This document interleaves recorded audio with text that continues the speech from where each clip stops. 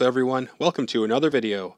In this video, I will do a one year update review on the Fitness Gear 300 pound Olympic weight set from Dick's Sporting Goods. I did an in-depth unboxing review a year ago when I first purchased it, and I definitely recommend checking out that video first. Among other things, I measured each plate and the barbell and compared it to the standard plates, weighed each plate for accuracy, and disassembled the barbell to reveal the construction. In this video, I will elaborate on observations and predictions I made in the first video, and address some popular questions that I received in the comments on the first video. I will also show how it has held up over the first year, and go over some new observations and experiences with one year of regular use. Before we get started, be sure to subscribe for more how-to and review videos. Now, let's get started. Starting with last year's video, there is one measurement that I did not do. It is the bore of the plates. It has stood out to me with use because it is oversized and sloppy.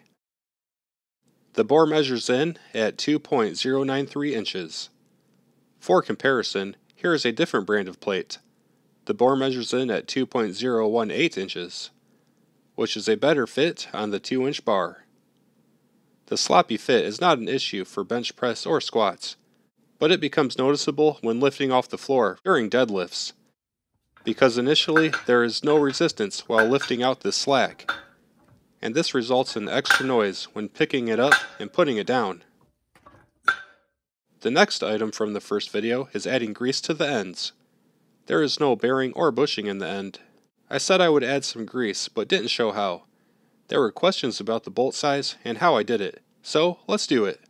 First, remove the retaining bolt. It requires a 10mm hex wrench to remove it. It is a socket head cap screw, M12 thread by 30mm long. With the bolt removed, the sleeve slides off.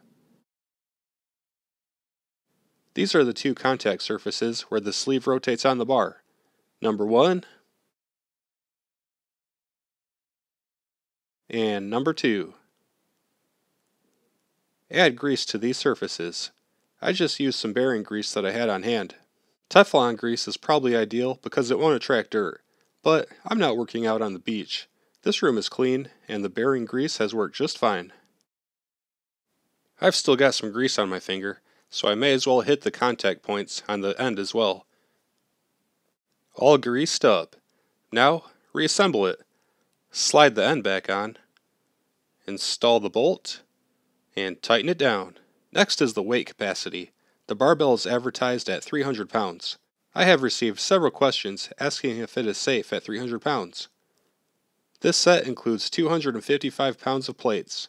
Here is all of it loaded on the bar, so this is the whole 300 pound set. I typically lift between 200 and 300 pounds, and I have not experienced any issues. I work as a mechanical engineer, designing complex machines for a living. The advertised load rating is not the breaking strength, there should be a significant safety factor, and because it is a lifting application, it should be safe for at least four times that in my professional opinion. But that's general design practice. I did not design this bar. The only facts I can give you are that I have used it loaded with up to 255 pounds of plates for a year with no issues. Here is a level on the bar which shows that it is still straight and has not permanently deformed over time. All good. The next item from the unboxing video is the observation of the prominent grooves cut in the ends of the barbell, and the prediction that the chrome plating or the paint in the bore of the plates will excessively wear. The grooves have knocked down with use, and are no longer aggressive. The chrome plating is still intact, and I have not noticed any flaking. There is some wear to the paint in the bore of the plate, but I would expect this type of wear using any bar with ribs over time. I think the last issue pointed out in the unboxing video was the 45 pound plates being 2 inches undersized compared to standard plates, resulting in the bar being 1 inch lower than standard for deadlifts. One solution that was recommended in a comment was a set of 45 pound bumper plates, so they will be in contact with the ground. This solves two issues. First, it brings the bar up to the standard height, and second, eliminates slamming the cast iron fitness gear plates on the ground. I did look into this, but two bumper plates pretty much cost the same as what I paid for the whole 300 pound weight set. I chose not to go that route. And also, if you want to get technical, that's only a partial solution. Bumper plates are all the same diameter, regardless of weight, so every plate touches the floor and supports itself. The inner plate is not intended to support the weight of all the plates on the bar.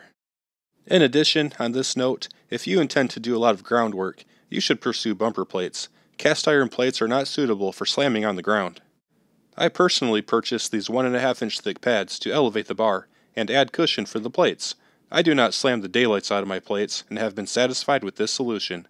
The cost was $20, and a product link is down in the video description. So, that finishes tying up loose ends from the first video. Now, let's get into observations with one year of use. I did come across a defect that I didn't notice during the unboxing. There is some extra material here, maybe some slag from the casting. I've left it here to be able to cover it in this update video. But it could very well damage the floor or something. Let's grind this off.